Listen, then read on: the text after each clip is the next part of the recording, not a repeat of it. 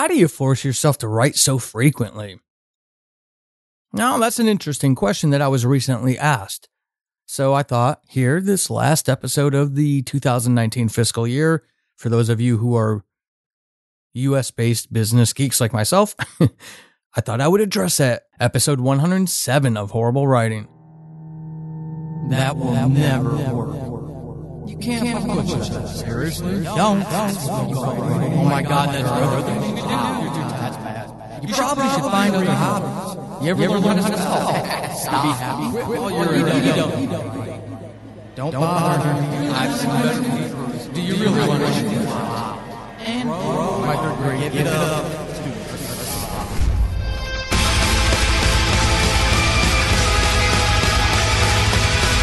Welcome to Horrible Writing, the rawest, most candid, in your face writing show on the interwebs because none of us have time to suck. Let's do this.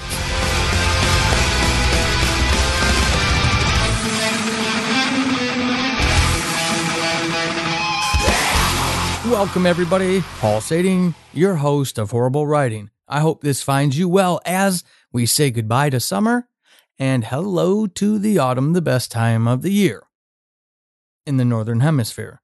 I'm sure because Southern Hemisphere, you're going into spring, and I'm not a big spring fan. I'm not going to lie. Better than summer, but not as cool as winter. Not by a long stretch. I want to thank everybody, every single one of you who has gone and picked up RIP. I'm very pleased with how that's doing so far. And it's been an interesting journey because it's the second book in a series. The first time I've ever done that started an actual series by having at least two books.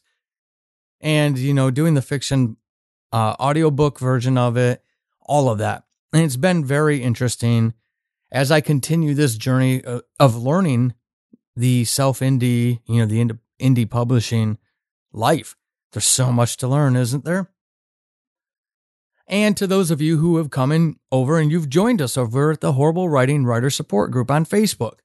If you're not there yet, why not? You don't use Facebook? No big deal. Get your account dusted off a little bit, join that group, and do nothing else on Facebook. Stay happy. Sorry, Facebook, if you've got someone listening. But I know what Facebook Facebook can be like sometimes. We're not like that. Come join us.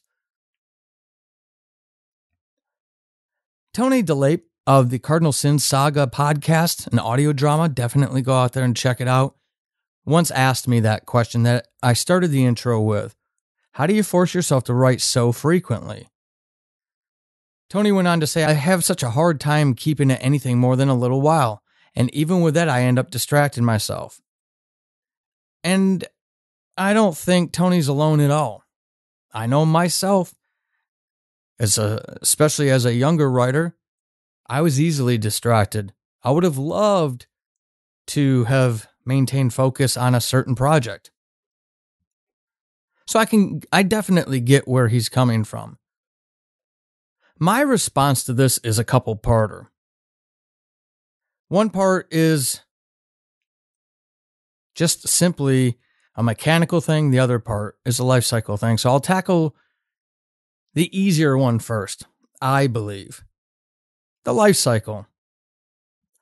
I have the pleasure of knowing Tony through podcasting circles. So I have an idea chronologically of where he's at in life. When I was in his place, I very much thought the same way and acted the same way.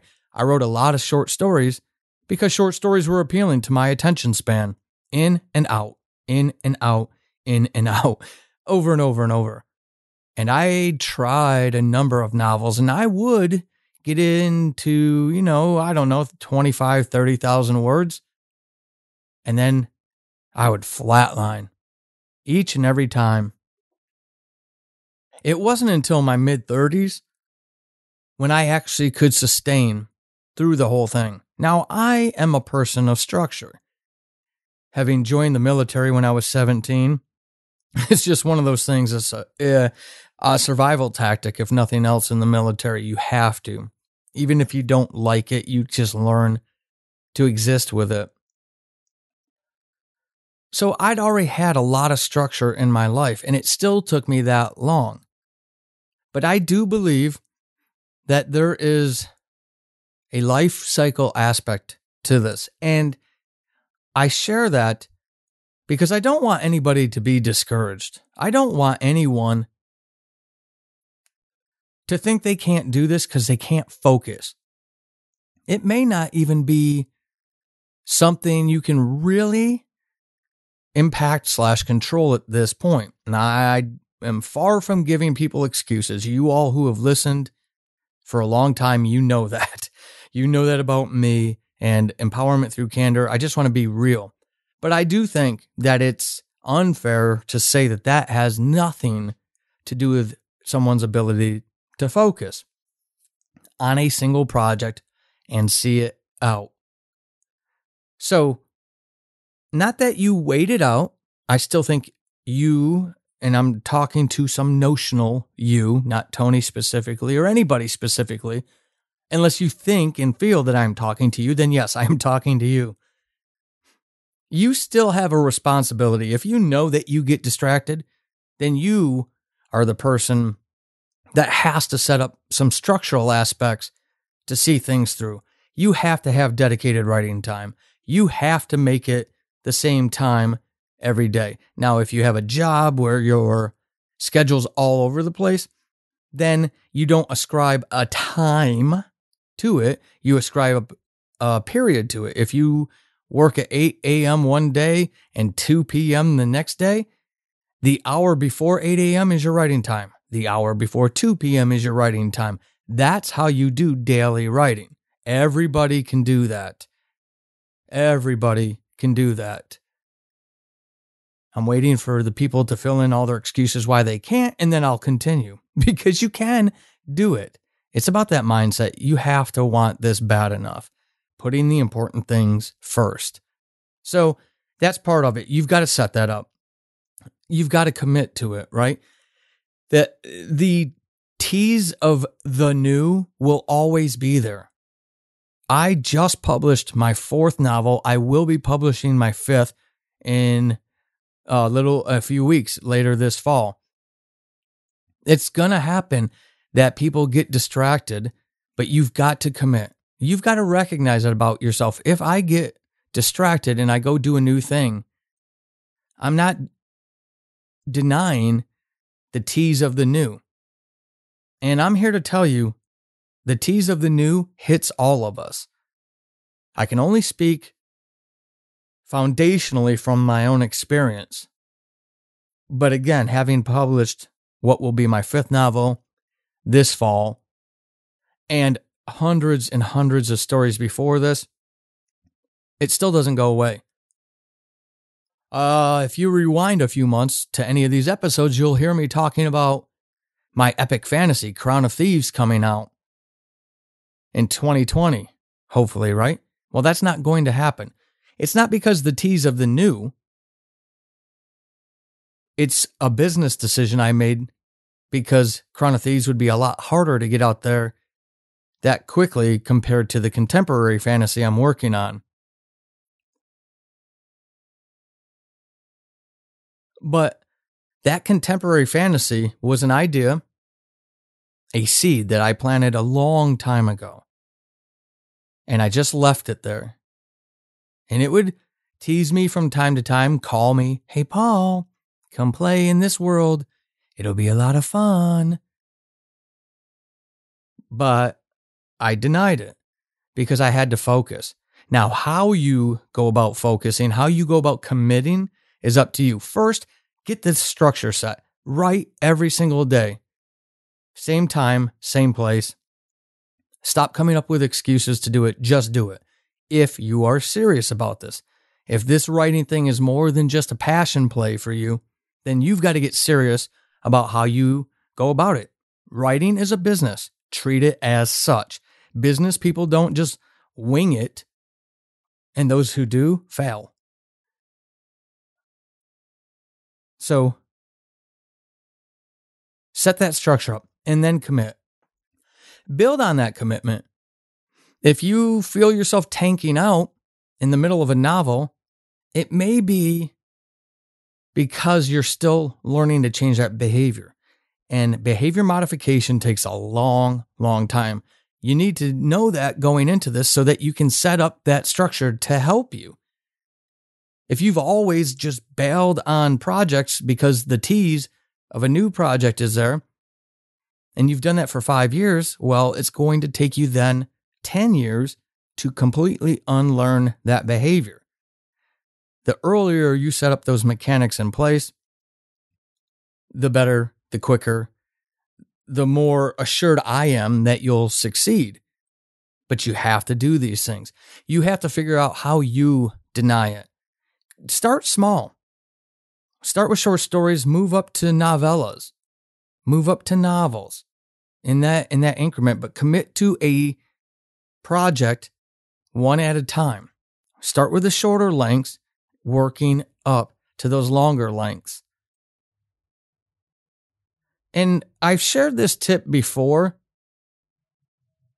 and I think it is helpful for the T's. You've got your daily writing time. You notice how I keep going back to this? It's that essential, it's that critical to your success. But you've got your daily writing time. You know you're going to write for fill in the blank 30 minutes, an hour, two hours, four hours, whatever it is every single day. Well, partition it to address the T's. This is just for those of you who suffer from the T's. Let's go with a half an hour. Let's say you do a half hour of writing every single day. Here's how you can address the T's without caving to the T's. Spend 20 minutes writing on your whip. What are, whatever that is, novella, short story, novel, whatever you're working on, audio drama script. The majority of your time dedicated to writing that whip. Then spend the last 10 minutes playing around in that new project and keep that relegated or, or consistent percentages, keep those percentages consistent until you're done with your current whip. No matter how much fun the tease is of that new project, you give it a little bit of TLC every single day, a little tender loving care every day. So it knows that it's loved and that you're going to want to have a relationship with it, but not right now. You're in a committed relationship finish the whip, then you can jump on that. Don't fool yourself. Be responsible to this too. The tease is always going to be fun for a little while, and then it too will tank out. You're going to hit the middle of that story where everything always bogs down and it's going to slow. And lo and behold, while that thing slows, there's another new idea in the back of your head teasing you. Come here come here, play in this world. It's a lot of fun. We have cookies, right? That's going to happen. It will always happen. I guarantee you, the day I fill a bucket list item and get Stephen King on this show, I will ask him about it. And if he wanted to quit on that story for something new while he was in the middle of it. We all go through these things. Don't play like you don't you don't go through them. You do. Commit. Be disciplined. Don't come up with excuses. Again, don't tell me why you can't do something. Show me how you can. Right? That's what this is about. Structure, daily write through daily dedicated writing time. Partition it if you need to. Understand the T's will always be there and it will always tank out right in the middle, just like the one you worked on. I mean, hell, the one you work are working on right now was the fun one you jumped into, anyways, right? The daily writing habit is critical because it keeps you in uh, the immediacy principle, is what I call it. You're constantly in that world. People who don't write every day, they go on with their lives and all their responsibilities, but that it's just like a long term, uh, a long distance relationship you start creating space between you and that story. You start losing the love for it. You start losing the flow. And then it's harder and harder to get it back. And even if you do get it back, just staring at the screen for five minutes while you get in the rhythm, over time, that aggregate impact can have detrimental uh, effects, right? You just get sick and tired of looking at that stupid story. Well, you write every day, it stays immediate in your life, and you plug through it quicker and faster. You don't go back and edit, never go back and edit until the entire thing is written, and it stays immediate. Tony asked, How do I force myself? I don't have to force myself.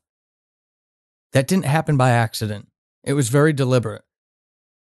Daily writing time, every single day, no questions asked. Some of you are still resistant to that, and I'm still going to beat that drum. Here's an example about balance of life. I went off on a camping trip with my family and some friends. Three days out in the wonderful Pacific Northwest. I got a little bit of writing done each day and a lot of reading and a lot of drinking and eating done. And the last day, you have to break camp. You have to get up early, break everything down, pack everything up, get it home. And because I live in the Pacific Northwest, everything is wet. So when you get home, you got to unpack everything and let it air out. I was exhausted. We'd had a long weekend. You don't sleep in when you camp. It's, you know, too bright. It's too loud. You just don't get a whole lot of sleep. So, no joke, by five o'clock in the evening, I was ticking down. I was wearing out. I started, I started feeling that sleep come on, like undeniably, you know, like it's 7 30, 8 o'clock. I usually go to bed at 10 and read for an hour. So I knew I'm in trouble and I haven't written today. I went into the office. I grabbed my laptop with my little thumb drive I took camping with me. I pulled open the story I'm working or the novel I'm working on. I wrote a paragraph, two or three sentence paragraph, saved it, closed the laptop, put it away. My daughter laughed at me but I got my writing time in. Anybody who takes my challenge seriously about that dedicated writing time, and you do it for 30 days at a minimum, 30 days straight, never taking a break, a day break, never have a zero word count day. Tell me you're not a convert. I honestly, truly believe you will be. And then it doesn't become forced. That's what tells me uh, quali- qualifies that question for me was that you'd or was the word forced. I wasn't forced to pick up my laptop after that camping trip. I wanted to. I had to get that in. But I also had balance. It took me three minutes to do all of that. And I went back and laid on the couch and watched Nightfall and fell asleep and missed like two straight episodes. Not the point, irrelevant. But I still did it. If it's feeling forced, I, I really believe it's a systemic problem, meaning that you don't have that system in place for yourself. Transcription by Renzi Lee over at Renzi Lee Freelancing. For fast turnaround times on content writing, transcription, and editing services, email Renzi at renzileefreelancing at gmail.com. But you do those things and it will help outlining the story. So you have a guidepost where you're going. It doesn't have to be detailed, folks. This can be a note page. This can be 20 sticky notes slapped on the computer monitor or the wall behind you. But having an idea of where you're going, if you just sit down at a blank screen without an outline every two or three days or whenever the muse strikes you, yeah, it's going to feel like work. It's going to feel forced it's going to be problematic and you're going to wait for the news story to come along so you can go play in that world. For me, this is a really easy question to answer. So I challenge anybody who's feeling like Tony did. And Tony, I want to thank you for that question because I think it's an awesome question that a lot of people will be able to relate to. I honestly think that any of you feeling that, if you set up that structure, if you take my advice, accept my challenge, see what comes out, I think you'll be very pleased with the results. You've got to give it time to turn around. Behavior modification 101. It takes two times as long to unlearn something as it turn as it took to learn it. If you've got a nail biting habit and you've been doing it for your entire life, and you're 20, guess what? it's going to take the rest of your adulthood into senior citizenship to unlearn, completely unlearn, to stop biting your nails whenever you're feeling blank, fill in the blank. This is no different. Give it a fair chance, give it a fair shot. Discipline, drive, and dedication. And we'll see you on the other side with a novel in your hand, right? Excellent. So, again, Tony, Cardinal Sins, go check out that audio drama. Thank you for your question. I hope this has been helpful to not only you, but to anybody who is feeling that same type of nagging issue with your writing. Help yourself. If this has been helpful, go ahead and leave a rating and review for the show, please, on your podcatcher, wherever you get it. Of course, Apple Podcast is the place to do it.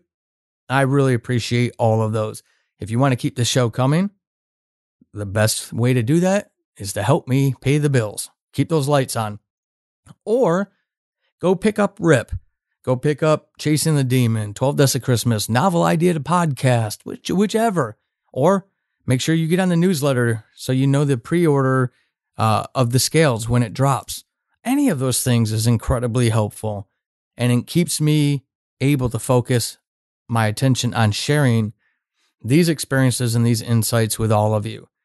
Come join us at the Horrible Writing Writer Support Group on Facebook. And of course, make sure you subscribe to the stories we tell so you don't miss any of those monthly episodes. Until episode 108, keep being epic. This has been Horrible Writing, and hopefully, after this episode, you suck less than you did at the beginning. I am Paul Sating, your host extraordinaire. You can find me over on the Twitterverse at Writing Horrible and over at paulsating.com forward slash horrible dash writing. Until next time, suck less.